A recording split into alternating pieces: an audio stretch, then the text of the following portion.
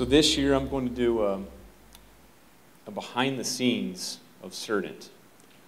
And I did this, um, I don't know, was it fall for Steve Pataki at SonicWall. He's uh, the chief revenue officer, I believe, at, at SonicWall. And he came in, and uh, Mike and Judy and Heidi and everybody gave presentations on what Cerdant does. And I gave my presentation, and he, he said, you know, obviously you guys put this out as a marketing piece to, to customers, right? We're like, no.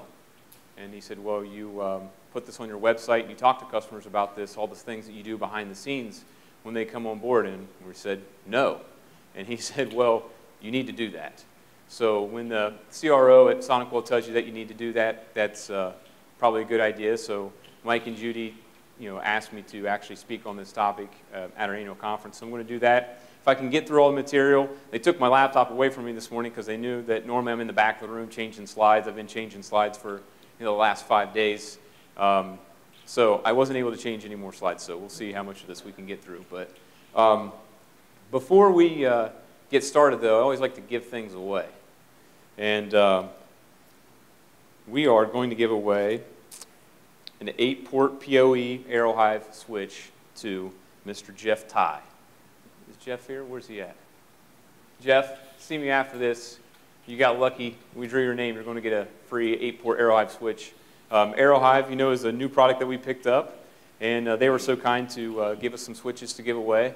Um, they're really nice, cloud managed. Uh, you get three years of licensing with that as well. So uh, you can keep it and put it in your, your home office or wherever you want to, do it. So we'll get started here. Um, I want to talk about our teams. We have many departments at Cerdant. Uh, before, it was just one big flat company. You know, everybody did a little bit of everything. So we have uh, an admin department. Admin department is Heidi and Roberta, Karen, Alex, Tabby, Gwen. Uh, Gwen's new to the team, but they take care of a lot of the administrative work on the day-to-day. Um, they're doing the billing, they're doing the invoicing, they're giving you phone calls um, to make sure that your subscriptions are you know, staying up and not being expired, which is a big portion of what we do. Um, they do a lot of work behind the scenes. You get to talk to some of them, some of them you don't get to talk to, um, but they're doing a lot of work to help support you and make sure that the um, experience you get with us is the best one available. From a development standpoint, we're almost a completely custom in-house company. Almost every single thing that we do is built in-house. And we do that with um, a team of developers. Uh, prior to probably three, four, five months ago, before Aaron actually joined the team, uh, it was Mike Lininger and Pete DeCiccio. They were our development team. They developed everything in-house for us. We're currently actually looking for a junior developer right now as well.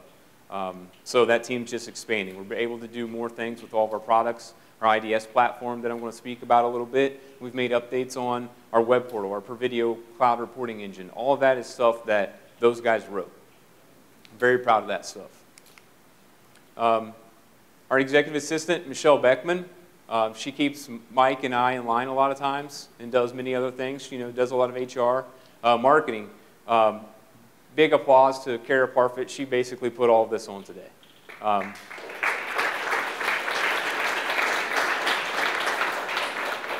funny story about Kara is she came to Cerdant and uh, had no security background at all.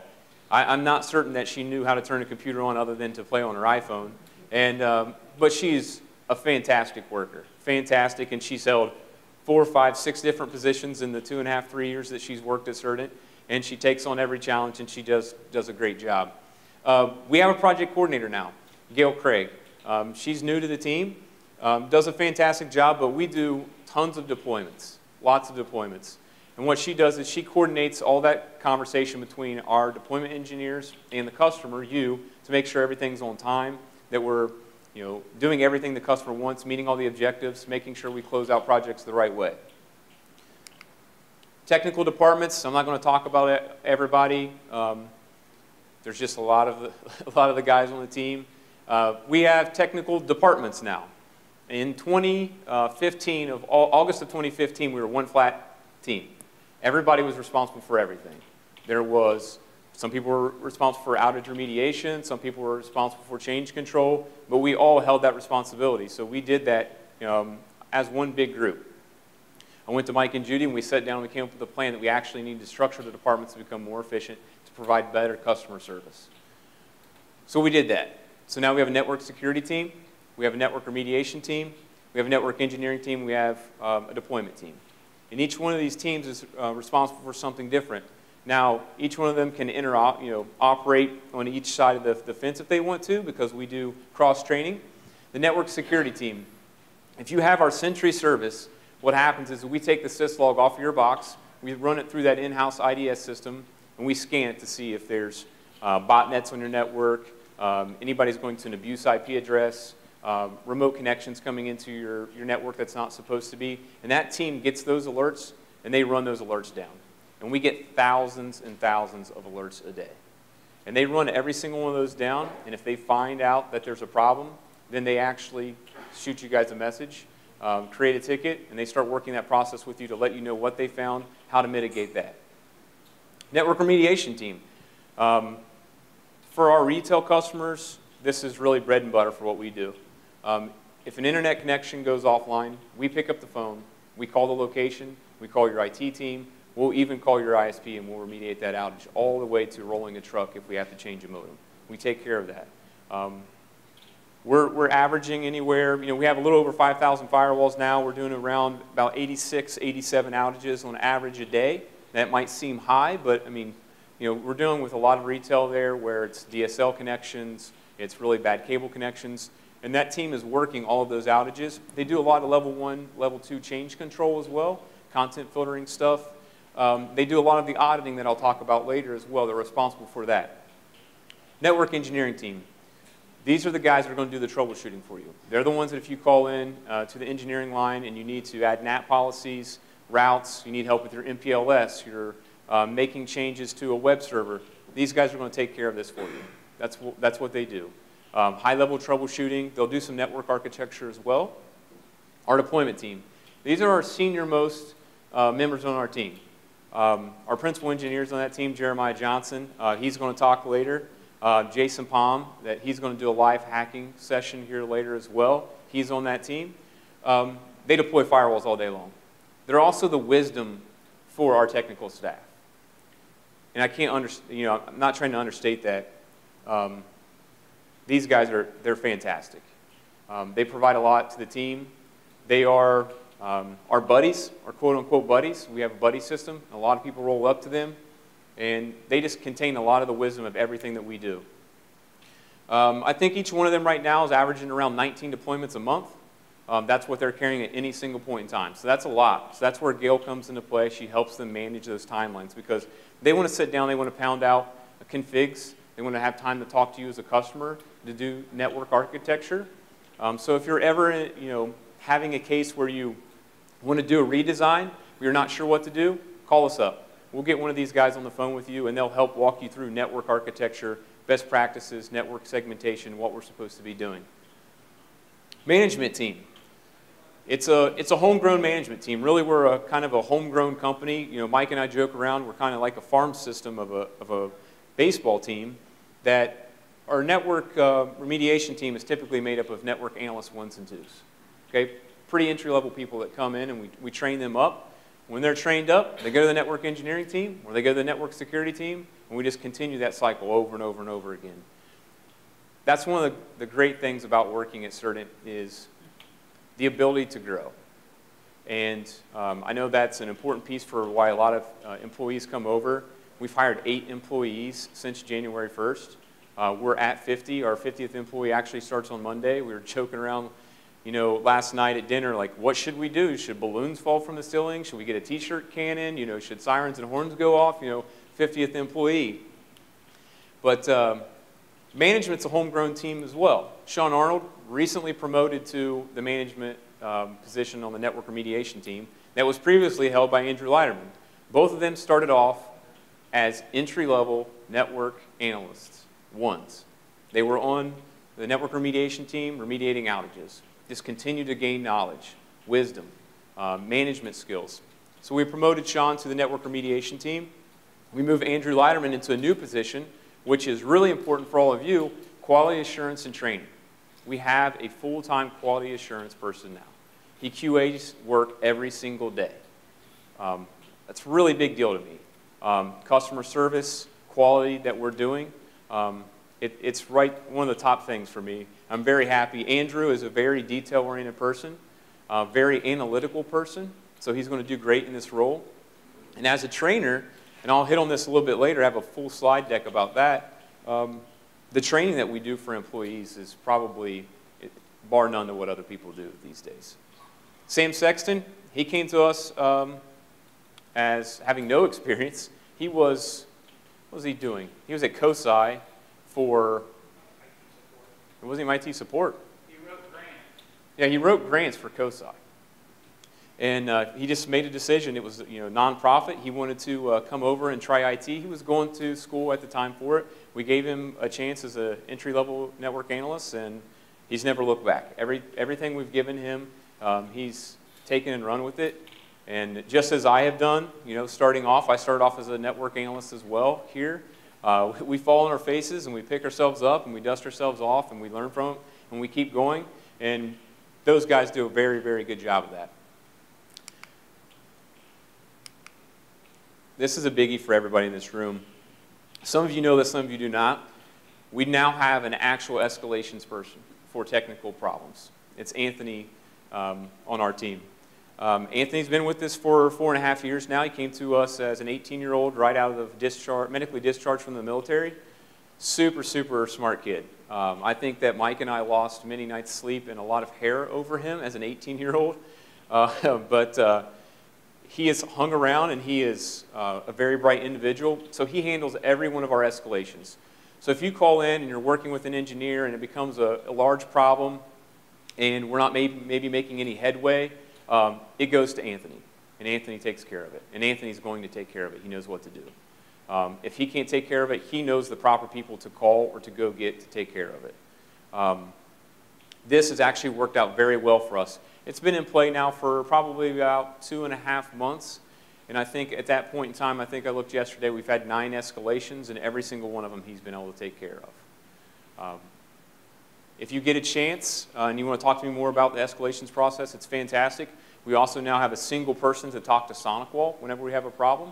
Anthony knows all the people to get in touch with at SonicWall if we need to escalate something, if we find a bug. Um, Anthony takes care of that. We have a full process where we track all of that uh, in a smart sheet project management um, so we can see exactly what's going on with that. This is uh, one of the things that I'm really, really excited about um, in 2018. Remote workers.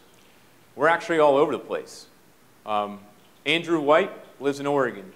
Chance, um, Arizona. Eric Richards in New Hampshire. Josh Evans in Cleveland. Um, we, we typically try to hire really good people. You know, and I would say that we have a fantastic team right now. So we don't put the um, handcuffs to somebody on a desk if they need to go someplace, they want to move. We would like to do what we can to keep them. Andrew White is that is a really good example of that. He wanted to move to Portland to uh, pursue a music career, and, uh, but he wanted to keep this job. So we work with him, and he actually works um, full time, five days a week from Oregon, and uh, he's traveling with his band here in a couple months. Chance came, from, came to us from SonicWall. Um, we stole him away from SonicWall, and he wanted to stay in Arizona. He didn't want to move to, to Dublin, although when you talk to him when it's 115 degrees in Arizona, he's like, hey, when can I come to Dublin for a week because I need to get out of the heat. Um, but he stays out in Arizona. Eric Richards was uh, somebody he worked in the office for us for about a year and a half, and he has family in New Hampshire, wanted to move to New Hampshire, so he packed up and he went to New Hampshire. And Josh Evans is a talented engineer that was in Cleveland. He really didn't want to move. So we uh, struck up an agreement, and he comes to the office uh, once a quarter, and he works remotely out of his house in Cleveland, does a great job. We have uh, technical support representatives now. Not sure if anybody knows that or not, but we run a part-time team of technical support representatives, which is like another part of our farm system. We're growing talented individuals. Um, Seth Ramirez, he actually applied for an engineering position um, for us, and he was just, I think, a year into college for electrical engineering. And we're, you know, we're looking for people that have four six years experience at that point in time, but we set him down and talked to him, super bright kid, and now he's a part-time TSR for us. He's going to school to finish his degree um, in IT. Rachel King, first intern that we've ever had, and she's worked out fantastic. Uh, I think it was about two years ago I struck up a partnership with Harrison College um, and Reynoldsburg um, ESET to do an internship. And we brought Rachel on. She was going to high school at the time, but she was also taking classes uh, for IT. Brought her on as an intern, super, super smart, and she wanted to stay on. So now she's at Columbus State. She works part-time for us as a, as a technical support representative. And hopefully the goal is to help get her through college and then bring her on full-time at some point in time. So that's just some people that's, you know, the team. I think it's important that uh, you get to know who's doing the work behind the scenes. It's, it's important for me that you know, they get some recognition. I wanted you to know all the people that do that as well. We push a lot of education at Cerdant, maybe not so much you know, formal education, the, the means of going to school and getting a degree. Um, although Roger Newton, I don't think that Roger made it over here for this one, but uh, he just got his bachelor's degree, just graduated with his bachelor's degree in information technology. But here's some certifications that we have on staff that I'm really proud of, and I know that Mike is as well. We have 25 CSSAs on staff. Uh, at one point in time, I do not know if this is still true, we had more certified SonicWall administrators in the U.S. in one building than SonicWall had themselves. Um, 12 CSSPs. We have four uh, certified SonicWall sales engineers actually on staff as well. And this is another big one for me. We have four CISSPs um, on staff. I personally am one. I know what it takes to go through that. It was not easy. Um, our principal engineer, Jeremiah Johnson, um, is uh, certified as well. Kevin Roberts is here too, mingling around somewhere. He just passed his CISSP, and Andrew Leiterman did as well this year. And um, they came to me, they both made the mistake. They came to me and said, hey, you know, what's kind of next for me? What should I be doing? And I said, get your CISSP. And they were like, that was not what I wanted to hear. and I said, well, that's, that's the next step. Like I, to me personally, that's kind of the holy grail uh, for people and what we're doing. And I, I just looked at them and told them that. And I think that they're thankful that they went through the pain now for doing it, but it is a lot of work to do that. We also have uh, three certified ethical hackers on staff. This is awesome. It, it really allows us to leverage um, the knowledge that they have to help provide better customer service for you when things are going on. It allows us to configure the firewalls better. It allows us to give you better information on what you're supposed to be doing on your network. Uh, you know, we have nine people that have Network Plus, nine Security Plus, 14 people that are um, certified to deploy and support Cylance. And we have multiple CCNAs, CCNTs, all kinds of stuff, but these were the big ones that I want to make sure that you understand that the people that are supporting you on a day in, day out basis, they're not, you know, it's not just homegrown talent or they're not just, you know, reading it in a book. They're going out and they're getting these certifications they're doing their due diligence so we can provide the best customer service possible for you. Behind the scenes, some things have changed. We're at, we've always been 24 by 7, 365, but at 6 o'clock when we went home, one of us carried a pager. And for years, I actually carried a pager. And everybody would always be like, are you a doctor? I'm like, yeah, I'm a doctor. No. But, uh, but uh, you know, now we get SMS to our cell phones. But we are 24 by 7, 365 staffed. Our phones ring um, 8 to 6 Eastern Time, but we always have somebody working, not by a pager. They're sitting at their desk. They're actually working 24 7, 365. And we do that with a 7 a.m. to 7 p.m. and a 7 p.m. to 7 a.m. shift. They rotate on. They're two days on, two days off, three days on. Um, they work every other weekend. Those guys love those shifts. It's been fantastic for us. Because now what used to happen is, even myself, I would carry a pager. I would work 8 to 6. You might get four, five, six pages because somebody needed to do something West Coast time, or one of you had an emergency, and I would take care of that, and then I would get up the next day and I would come, I would come to work. Now that doesn't happen. Now there's always somebody working. There's somebody you can get a hold of very quickly to do those things. And also, they take care of all the stuff that comes in overnight. So when we come in in the morning, the, you know, the 8 a.m. staff doesn't have all this work that all of a sudden just gets dumped on their plate the people that are working at night are already taking care of that for us and can handle the problems. And this has been a great addition. Sentry service. Let's talk about our service levels a little bit. Sentry is our top-notch, highest-rated service, and I would beg all of you to take it because it's excellent. It's 24 by 7 unlimited support. That means if you need help at any point in time, any day of the week, You can call in and get a hold of us, and we'll actually provide customer support for you. Proactive outage remediation, what does that mean? We're monitoring all of your internet connections, and if it goes down, we call you and let you know that it goes down. We take care of that. We'll send you an auto automated uh, notification as well. We'll also call the ISP if you would like us to do that. A lot of you have given us your account information, put us, you on, put us on the accounts, so we can call AT&T and have them let us know what's going on your lines if need be. For video reporting, again, I touched on this a little bit before, but we have our own cloud-based reporting engine that we built um, that we take all the syslog off, make it look real fancy, and you can log into our mycerdant.com web portal, run your reports. You can schedule those reports. You can do what we call our Monday morning coffee reports. You can have your top bandwidth users, top applications, top websites delivered to you at 8 a.m. in the morning if you wanted to on a Monday, Tuesday, Wednesday, whatever day.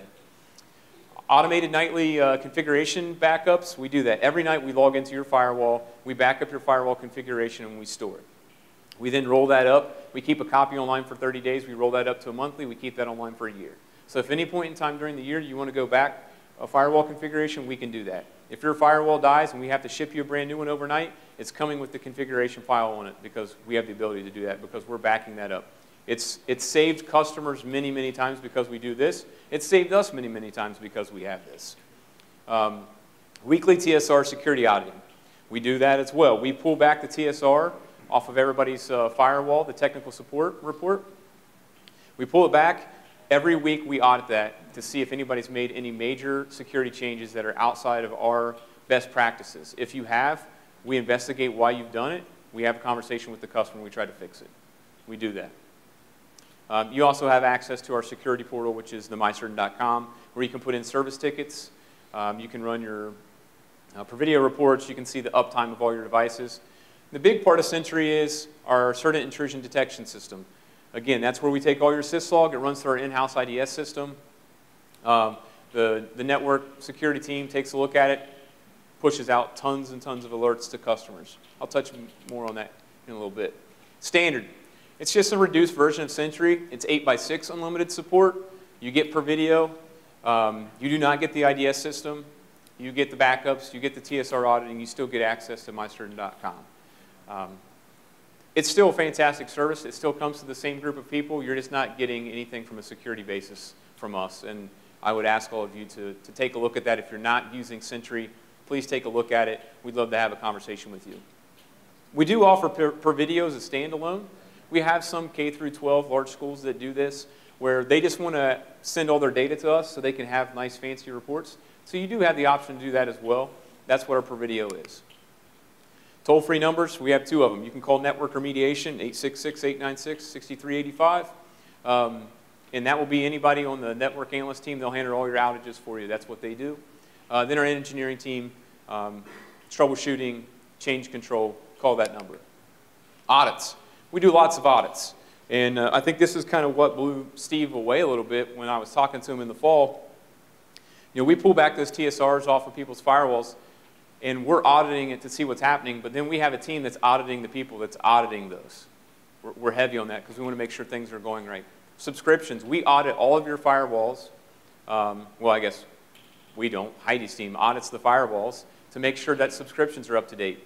That's important because if your subscriptions aren't up to date, then you're not getting your um, CGSS, you're not getting your, your gateway antivirus, your IPS, it's not running on the box, you're really not scanning anything at that point in time it's a big deal to us to make sure that that stuff is turned on. So we audit those subscriptions to make sure nothing's you know, out of bounds. And I think it's 60, 90 days we start reaching out to customers to let them know that renewals, renewals are coming up and we can help you with that. SonicWall authentications. Uh, we have a couple guys on the team that every morning we get a report of all the SonicWall auths that happened the day before. And they go through and they audit every single one of those to see what's going on and they want to see if anybody's maliciously trying to get into a firewall. A lot of times what will happen is we'll bring on a new customer, and we'll say, hey, we want to block down management. Like, no, no, no, no you, you, can't do that. I want to be able to get to my firewall. Well, we can you know, get you other ways. Nope, leave it wide open. It's typically on day two when we send them a report of the Chinese and the Russian Federation that's pounding away on their firewall trying to log in. It's when they allow us to lock it down. But they audit this report every day to see who's trying to get in and out of firewalls. And we can provide that information to customers so we know that only the good people are logging into these firewalls. Firewall backups, we do those firewall backups every night, but what good is a backup if it's not really there? You know, Mike kind of touched on that. We audit those backups to see what ones failed, um, to see if they're good or not. We have an entire team of guys that actually do that as well. We audit all that stuff. High availability. If anybody has a high availability a failover box, um, we're monitoring to see whether those boxes are failing back and forth. And we have the ability to let the customer know if they're failing over or not. And we can look into why it failed over, get it back on the primary box if you want to. Device outages. So we monitor all these appliances for up and down time. Uh, we monitor them for problematic state as well. We have an administrative report that runs that the team takes a look at so we can be proactive for somebody who might have an issue. Um, if we didn't have this, and we, we didn't have this years ago, what would happen is we would do our job, but you know, a store would go offline on a Monday, it would go offline on a Tuesday, it would go offline on a Wednesday, it would go offline on a Thursday, and it would do that for about 10 days. And every time we did our job, we called, we got it back online. We called, we got it back online. But you can see there's a problem happening there. It's continuously happening, so there's a larger problem. This report actually allows us to identify that stuff to fix those problems much quicker. So we get a, a, list of outages that are continuously happening, how many days. We can go in and we can audit that and take care of that for customers. How many calls are we taking? How much work is Cerdant actually doing? This is pretty amazing to me with the team that we have. Inbound phone calls in March, over 1,400 phone calls. Our hold time was, if you had hold time, was an average of 45 seconds. In March, um, our longest hold time, I think, was three minutes something was in March. Um, for a support organization, I can tell you those numbers, you know, are, are really unheard of. April, um, a little uptick in calls. Average hold time actually went down. So, pretty impressive numbers. The guys actually, uh, uh, we have a phone system where you can see a leaderboard, and they, and they joke around about who's getting the championship belt. It's funny, it's almost like a competition who can answer the most phone calls every single day. They're always looking at the leaderboard and seeing who's getting the championship belt before they go home at night.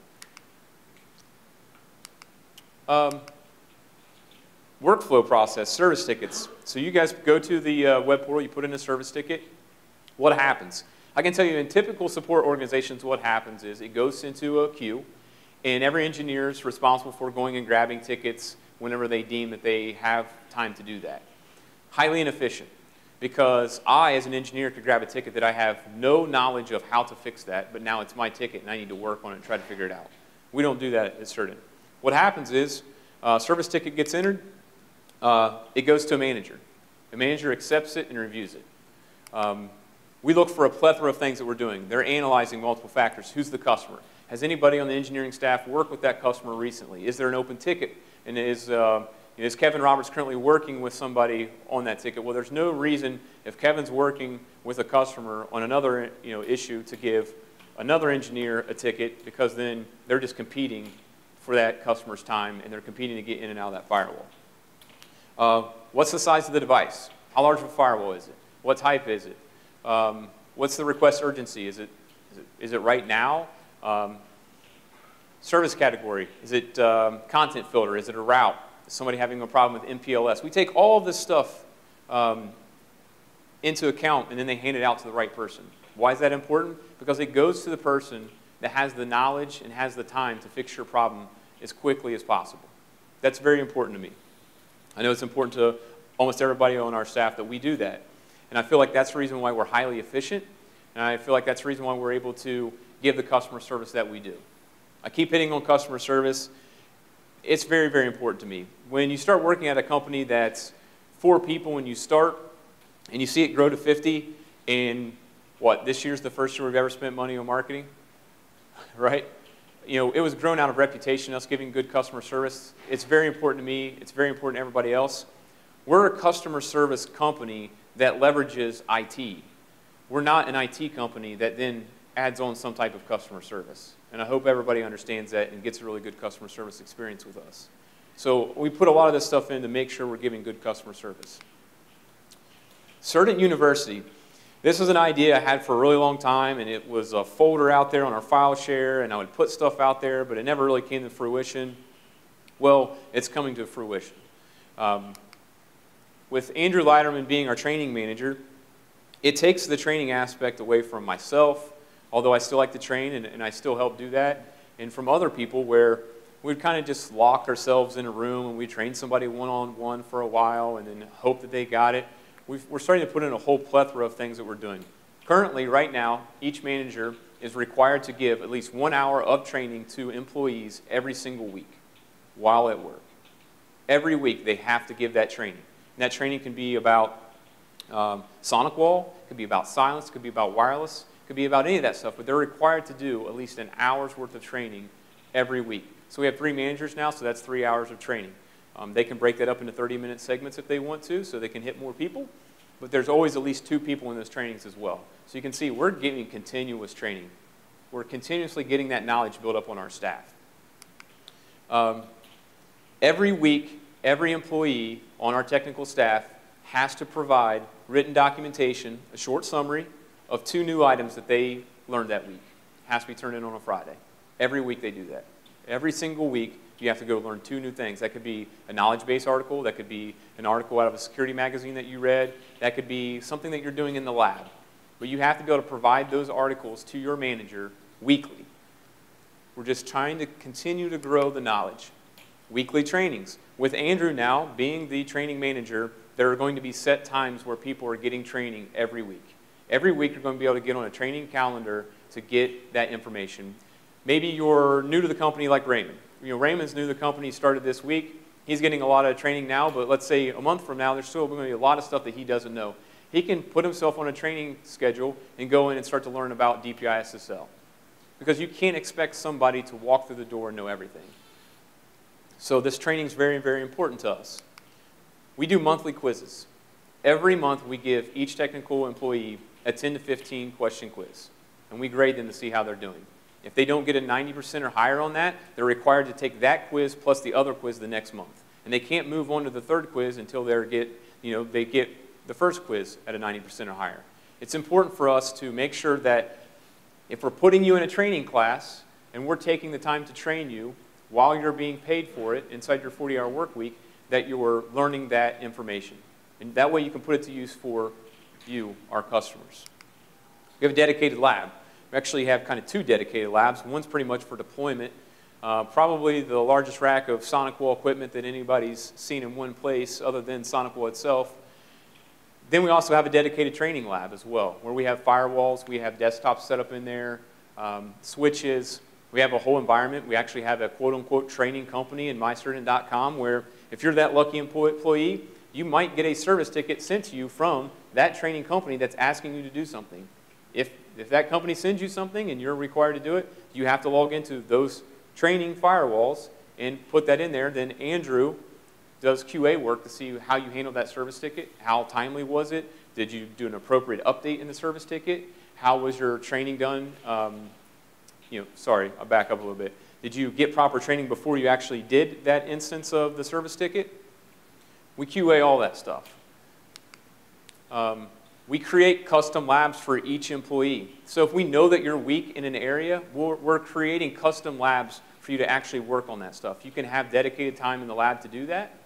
Um, so if you're weak on routes and MPLS and you're really not sure what to do, uh, we'll create custom labs for you to go sit in that lab with a trainer or by yourself to complete those. You turn those back over to Andrew. He does quality assurance checking on them. Um, he sees what you're good at, what you're not at. We then start building more custom labs around where we can find your weak areas. It's just a continuous learning process trying to build up our team to support you. How does this all come about? Your annual quiz. Every year, you get an annual quiz that you have to show how much knowledge you have based off of all the questions that you had on the quizzes prior. Um, we're working on a platform called Moodle. Somebody in probably K through 12 or universities might know what it is, but it's an online uh, platform that we can use where we can create questions and banks of questions, and we can pull those out. So we're working on this. It's not all complete, but I wanted to give everybody a kind of a picture of, of what we're doing here. Because, you know, if I, I take this for granted because I'm working in it day to day, and I know what I'm, we're trying to build to provide best, better customer service, but now I think it's important that you know all the work and effort that we're doing every single day to try to make sure that this technical staff is the best technical staff possible for customer service and answering your questions. Service expansion. Been a big year for us. Uh, probably last year, going into this year, Mike talked about it. Um, for 16 years, we were basically a firewall company. We did, we did SonicWall. Um, and that's all we did, and I, I feel like we did a really, really great job at it. But at some point in time, it's like, man, you kind of want to do something more. Somewhere along the line, we started doing email security. Um, some of you might remember Postini uh, back in the day, then Google bought them. But uh, we did Postini for a few customers, and we never really marketed anything to anybody because it was kind of more, hey, we like your customer service. You guys give great support. Would you support this product for us? Sure, why not? Uh, well, now we actually do full-blown email security uh, for, with SonicWall through the SA product, or we do it through Proofpoint cloud product. The Proofpoint product is a great, great product uh, for cloud email security. We use it. We have multiple customers that do it as well. Um, they have a one-touch send secure email uh, function that you can build right into your Outlook. It's just a single button. Um, fantastic feature. If anybody wants to talk to me about it, I would love to talk to you more about it. I had a couple people hit me up uh, last night to talk to me about it. Um, Proofpoint um, Essentials is what we use and we support. Great product. Endpoint security, Cylance. So I think, what Jeremiah, what was it, three years ago, two and a half years ago, we saw Cylance? Three years ago. Uh, we saw Cylance at a security conference, and we actually stumbled into it by accident. Uh, they said artificial intelligence, so we're like, oh, this is cool, right? We had no idea that it was actually AV. Once we got in there, like, ah, we don't really care about AV because we don't do AV, and AV really doesn't work. This guy put a laptop up there, and he had two laptops side by side. One had uh, Symantec, one had Cylance, and he threw a thumb drive on both of them and dragged a file to the desktop. And Symantec kept running, and then all of a sudden it was brick because it was owned by the malware that he created. And Cylance, before you finished dragging it to the desktop, had picked it off. And we're like, what just happened?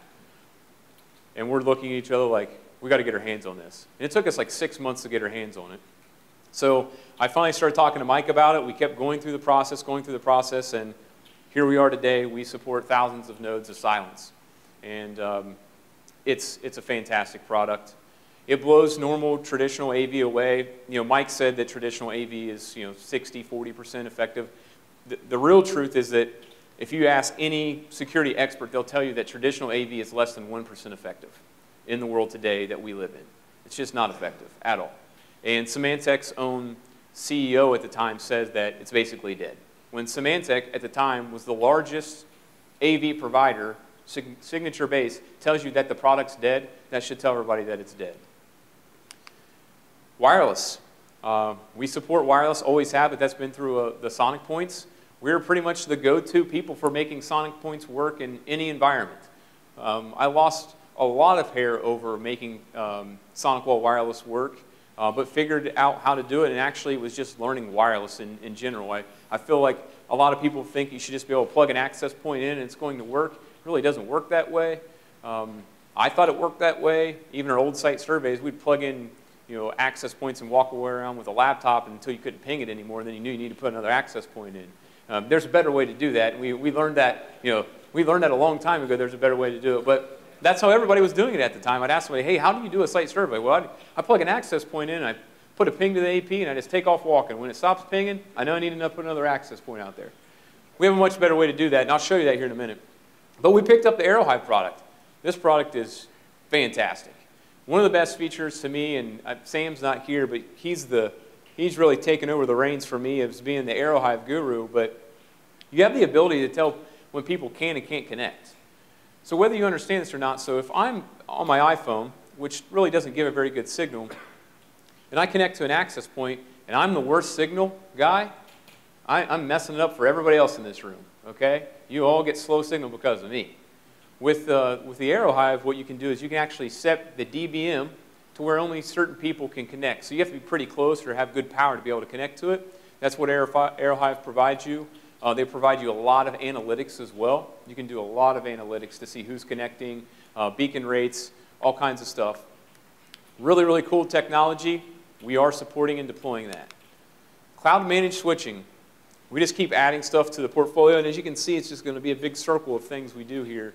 Um, we kind of got turned on to this because of uh, an issue that we had in retail where we would call in for troubleshooting, and they'd unplugged all the cables and then plugged it back in, but nobody knew where it went. Well, we started investigating with the cloud managed switch what we can do is we can see all this in a dashboard out in the cloud, and we can turn on port security. So in a POS environment, we can actually have people plug in their POS stations. We can lock those ports down. Now nothing else can get plugged into it. So if somebody walks in, tries to plug something into the switch, it won't work um, because it doesn't know what the MAC address is. And now we have the ability to manage thousands and thousands of switches via a cloud console. This is big for K through 12 university as well, because if you want to add a VLAN to your network, you no longer have to log into every single switch of the hundreds of switches that you have. You can log in one place, add that VLAN, push it across to all the switches. Um, Jeff, hope you enjoy your, your switch, buddy. If you need help with it, you let me know. Um, RSS 2.0, this won't be for everybody in the room. This will be for some of you in the room. We have a new retail solution. We partner with a company called Sikich, used to be 403 Labs. We provide end-to-end -end PCI compliance for people now, partnering with uh, Sikich. We can do your external vulnerability scans, internal vulnerability scans. We can have you set up with pen testing. We can get you a qualified QSA. Um, this has been really big for us, to be able to add a full-on retail package for our retail customers. Now we can deliver that. Now we're just not the firewall company, the endpoint company. Now we can deliver you almost a complete full PCI compliance package by leveraging Sikich and everything that we do as a company. Enhanced IDS platform, Sentry. I talked about this, but over the course of the last 10, 12 months, we've made a lot of upgrades to our Sentry platform. Uh, we have the ability now that uh, whenever the syslog data comes in, we have all these different categories that the team's looking at. And one of those categories is remote connections. And we break that out into foreign and US. So if we, have, if we see immediately that somebody's trying to connect inbound to your network via a foreign IP address, it flags the ticket, and we immediately start working on that as a high priority event. Uh, botnet. The, the, firewall has the ability to block botnet. Uh, we have the ability now to pick that up, look to see what's going on in the network, see if it's uh, realistic or not, see if it's an ongoing bot by the timestamps and how many events that we're getting in, a, in an update refresh cycle. And then we can look out to you guys, send you service tickets, and let you know that maybe there's a potential botnet on your network. There were fit, over 53,000 botnets um, as part of the Verizon report last year. So a lot of botnets out there. Probably the really big one um, that I was most excited about because I beat Mike over the head about it for years, and he just, he, it takes a lot of time to do this, was the IP reputation database. So what we're doing is we're taking 8 to 12 of the most well-known abuse databases in the world, putting that into our system, and then we're taking all the syslog that comes off your firewall and we're matching up that traffic against those databases. So now, if somebody on your network goes to a website that's on one of these abuse sites, it immediately flags a service ticket and we start investigating to see what it is. Um, this has been really, really big for us. From a standpoint of IDS, just to show the impact of what all these changes have done for the Sentry service, in 2016, we opened 1,517 cases from an IDS standpoint. That means that the security team actually opened that many cases with customers. Now, we took thousands of events, but these were cases that we knew without a shadow of a doubt there was probably an issue going on. In 2017, with this coming into the end of 2017, we opened up over 5,700 cases with customers. And we're on pace to double that number in 2018, just because of the information that we're able to get now from these abuse databases. Another really cool feature that I was allowed to squeeze into the IDS platform is we have a certain abuse database system. So if you send me an IP address and you say, hey, I think that this might be bad, or we read it in a news article, we can actually throw it into the abuse database ad hoc it'll start scanning every firewall that's sending data, and we can see if somebody's got this brand new attack to see if it's happening or not. We were able to notify and help a lot of customers when the well-known app CC Cleaner actually had a problem, and one of the versions had an issue. We, were, you, we figured out what the IP address was. We were able to take that IP address, throw it into the IDS system, started scanning the data, and we were able to notify over 12 customers that had the malicious version of CC Cleaner installed on their network, and they would have never known it we were able to do that with the new IDS system. And that's a big part of the development team. Wireless. So this is a wireless heat map. You know, we're, we're really big into wireless. Uh, we love it. predictive analysis, you know, I joked around and was being honest, though, about walking around with my laptop pinging it until, you know, so we don't do that anymore. We can do a remote wireless predictive survey if you can just give us your blueprint. And within 95% accuracy, if I can work with the maintenance person, I can tell you exactly how many access points you need and where they need to go. You don't need to send us on site. We did this work. This is a heat map. This building right here itself, I think, is, this one was 350,000 square feet that we did. This company, before we got involved, had spent over $250,000 in three years trying to get their wireless to work. And this was before we were actually selling wireless as a service. I was just doing this uh, heat mapping technology kind of to help people get their wireless working better. They could not get it to work. They're getting ready to rip out all their sonic points. So um, a Dell account uh, person um, got in touch with, I think, Todd Barrett, our VP of sales, wanted to know if we could help. So I started having a conversation with them, and I said, give me your blueprints, and we'll, we'll work together on this. Within six days, we had all their wireless working, and they said it was the first time they had full wireless in that warehouse and office in over three years. And we were able to do that without ever stepping foot on site. And they had paid people for over two years to come on site and spend over $250,000 doing that. And I can tell you, we charge nowhere near $250,000 to do that unless you will pay us $250,000 to do that, and then we will gladly accept that. But I say this because the importance with wireless, and I'm hoping that we're, you know, some of you are going to get bigger into it, as Mike said. Uh, I think Cisco estimates by 20, it's 2026, less than 10% of all networks in any business will be wired. So everything's going wireless. The good part about wireless is no cables. The bad part is when it breaks, it breaks, and it breaks for everybody. So if you're going to deploy wireless, you need to do an analysis and a survey if you want to have it done right. Now, I know you're probably thinking, well, if I have an office like this and there's just cubicles, do I need to do one? Probably not, as long as it's under two, 3,000 square feet. But if you have any offices at all, a conference room where you want to put stuff in, or it's over three or 4,000 square feet, you need to have a, a survey done like this. So you know exactly where to put your APs. You can plan for capacity to see how many people are going to be on an AP at any given point in time. And you can put them in an area where you're going to get uh, the best signal and coverage. I'm going to have to fly through this, but um, I'm a big fan of the uh, breach report from Verizon. Uh, and I'm sure Dimitri is going to talk about the, uh, the SonicWall one, so I, I, never put anything in mind about the SonicWall when I talk about the Verizon one, but this is the, the best well-known, it's the 11th annual uh, Verizon report. Um, over 53,000 uh, incidents occurred, uh, over 2,000 breaches, 43,000 uh, botnets, a lot of bad stuff happening in the world last year. Difference between an incident and a, and a breach is, you know, an incident, we're just saying that we, we know probably something happened to the CIA in our, in, our, in our environment, but we're not confirming that it did. We don't know what happened. We're not sure that we lost any of that data. A breach is we know for sure something happened. We know that we lost data. Somebody took a system offline. We know that happened. Um, we'll just go through some of these. Who's behind all the breaches? 73% are outsiders. Um, does anybody know what the main reason is for people trying to break in? What is their motivation? Anybody? Anybody? Nobody? Anybody?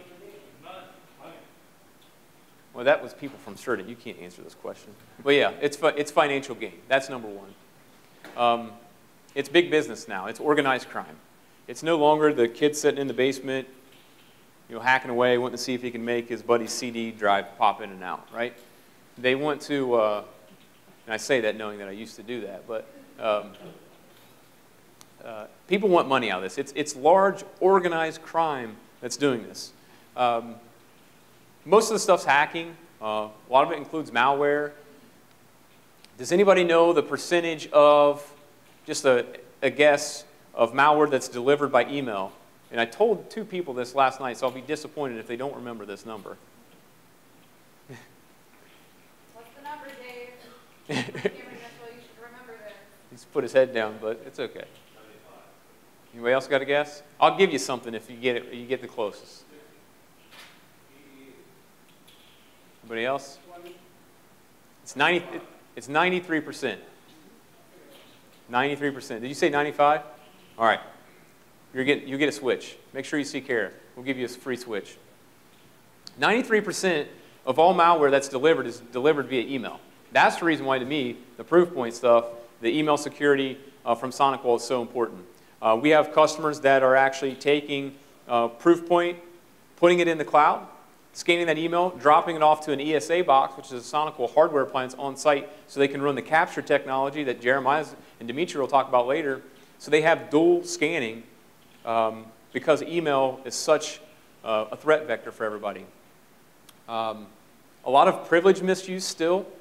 That means that people just aren't doing a very good job of checking the credentials um, of their own network, knowing what people are doing. Do you have anything set up at your organization to watch logins, to track employees to see what they're doing? Why did somebody um, in marketing get access to the employee uh, background information? They don't need that access. Do you have the ability to do that? If not, you, you need to have the ability and be doing that. Uh, who are the, the victims? Uh, healthcare, typically pretty big because of all the, the records that are there. Retail is obviously a big one. Uh, the bottom part of this one, though, right here, the 58%, probably hits home to almost every single person in this room, or the majority of you. 58% of the victims are small business. That's us, small business. They're, they're not going after the, the super large organizations. They're going after small business. They're going after low-hanging fruit. It's almost like you walk up to the door and you shake the door handle. Is it locked? If it is, they probably just walk away because they don't want to try that hard. They just want to go through the front door. 76% um, of the breaches were financially motivated. It goes back to um, money. We want money. This is a, this is a sad one too. 68% of the breaches took months or longer to discover. Typically a breach, once, so a breach is only a breach once you actually discover it, right? So once it's discovered there's a breach, once they go back in the timeline, typically that breach only took minutes for it to occur. That's a little misleading because nobody actually knows how long it took them before the breach to get all the information. But the breach itself, it's typically like that, and they're in and off to the races they go. Um, actors involved in the breaches, um, typically external, internal still hovering around you know 30, 35%. As you can see, financials way up here, and then espionage um, is almost always second. It's almost always financial, and it's always espionage on large companies looking for um, corporate information. Hacking, number one. Malware, number two. You know, it got there for a while where malware kind of got close to hacking. Um, you know, hacking is I'm going to, you know, see if you left a default username and password on your routers or your firewalls. Can I guess your, um, can I guess your passwords? Does anybody know the amount of money that it takes to get an employee's credentials? If you just offered them cash money, what's the average amount of money that an employee would say they need before they will give you their credentials? Knowing what would happen to them if it, they found out. Thousand dollars?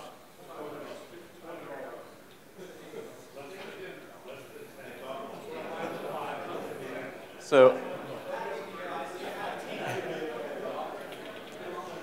so the number has grown since last year. I am happy to tell you that. Last year it was $105. This year, it's an amazing $127 for somebody to give up their credentials. So you said $100, you'll get a switch too. Did you, did you say 100? No, you'll get a switch too. I'm just giving stuff away. you get a switch too. Everybody, no, no, no I'm just joking. I'm not going full Oprah on anybody up here. um, this one's a little bit hard to see because there's just so much information, but it gives you the different uh, actions that are in the breaches and uh, incidents, um, hacking, loss. It's just error. You know, you see this all the time. Somebody um, threw away a laptop in the government, or they threw away files, didn't think anything about it. The old copier mistake where they sell their copiers and they had the hard drive in them, and nobody forgot to you know, take the hard drive out, and now all the data's in there. Um, Organized crime, number one. Internal actor, us, system admin, right? And that doesn't, that doesn't necessarily mean that the system admin did the breach. It just means that they probably got the system admin credentials somehow, and that's how they did the breach. So it's not that the system admin was actually doing something wrong um, or being malicious, but that's how. And then the end user. The end user, um, social engineering. Calling up, saying that you are a customer, that um, that's not really a customer, saying that you need some help, getting accounting information, things like that. Um, top assets, database, POS terminal, POS controller. POS stuff's always going to be close to the top, necessarily with the database too, because that goes along with the anything retail-wise. Retail's always hit very largely. Um, the big issue with POS, the reason why you see POS is almost always on here, if you go back through the years, is because most people in retail still allow email to be delivered to the POS terminal. You should never allow that to happen. There should, the POS terminal is the POS terminal. Um, they should not be allowed to get uh, email on those critical systems because, again, 93% of all malware is delivered via email. Um, it's taking seconds to minutes for compromise, but months for discovery. I kind of touched base on that, but I mean, really, that, that's the world that we live in. It, it, takes us a really long time, unless we have the proper tools put in place, um, to know that something happened. Now, I feel like that's where we do a really good job, and you know, it's unfortunate sometimes where we actually, you know, John Everett, one of our security analysts, he's sitting in the back of the room, you know, he'll find something and he'll send it off to a customer, and it's not necessarily the customer's been breached. They might have an infected machine at that point in time.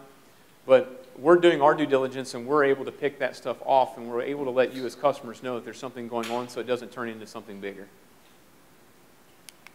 Um, top industries, public, healthcare, education, um, financial. A lot of times it's, it's public companies and healthcare. Um, education has actually risen up the ranks a little bit. And the, reason, and the reason being is actually um, they're going for education because a lot of the education, they do not do, do a very good job, and not picking on anybody here from a K through 12 or university standpoint, of protecting the PII of the people that are there. And this happens a lot of times for K through 12. They're going after kids or children's social security numbers.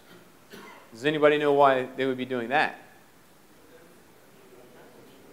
Yeah, there's, there's no, you can't run a credit report on a kid. So what they do is they take those social security numbers, they flip that into a different identity, and off the races they go. And it's unfortunate because sometimes you may, may be 18, 19 years old and you go to apply for your first loan to get a car or something and you have no credit because somebody took all that. That's the reason why education is rising up the ranks because they're going into those databases and pulling out those uh, social security numbers and they're turning that into identity for other people. It, it's, it's really sad. Frequency of malware vectors, here it is, email. Uh, malware types, um, office files, executables. Don't, don't email executables. Don't allow, don't allow that to happen. Um, there's Dropbox, there's OneDrive, all this stuff now. Just, just don't email that stuff anymore. Um, that's it. I know I raced through the last couple of slides, but a lot of that stuff I talked about. Um, the, I'll, I'll, leave you with this.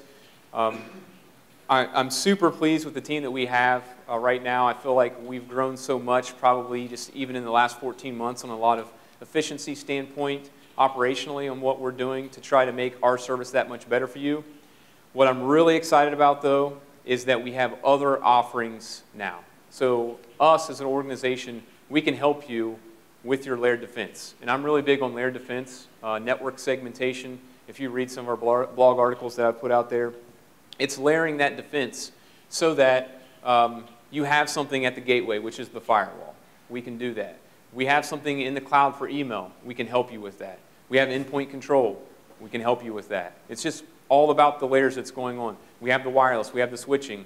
You know, I know a lot of people in the office hate me right now, but um, Kevin Roberts helps me out. He takes a lot of this burden, but I have our office locked down now where you can't come in and plug anything in on our network unless you talk to me or you talk to Kevin.